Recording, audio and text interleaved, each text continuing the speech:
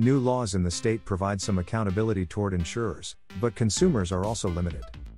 Based on the massive number of complaints filed by Florida home insurance customers following Hurricane Ian, regulators warned insurers that they would not be allowing the same situation to develop following Hurricane Idalia. Regulators received complaints about insurers from nearly 8,000 victims of Hurricane Ian.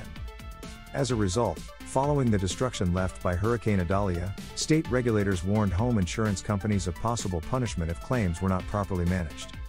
We're gonna be watching, said Governor Ron DeSantis even before the storm made landfall.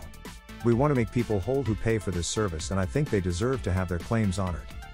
The Florida Office of Insurance Regulation issued a statement to residential property at the start of the week.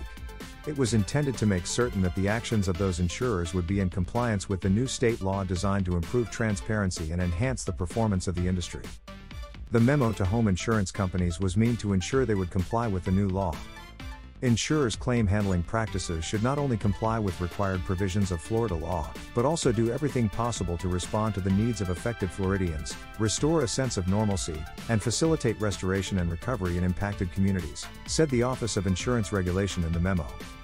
Examples of insurers responding quickly to claims have already been reported by local media and the state. Policyholders affected by both Hurricane Ian and Idalia have initially reported a much more expedient response from their insurers. That said, consumers are remaining cautious, as they also know that other new laws in the state have limited their capacity to fight back against insurers when they believe that those insurers have not upheld their part of the bargain. As a component of the home insurance industry reforms recently passed by the Florida legislature, one way attorneys' fees have been abolished. Homeowners are being advised to carefully document damage in the entire claims process in order to ensure that if an insurer must be taken to court, the policyholder will have what is needed to prove that they are owed the amount from the claim. Thank you for watching. Keep the updates coming, make sure to hit subscribe, and sign up for our weekly newsletter today.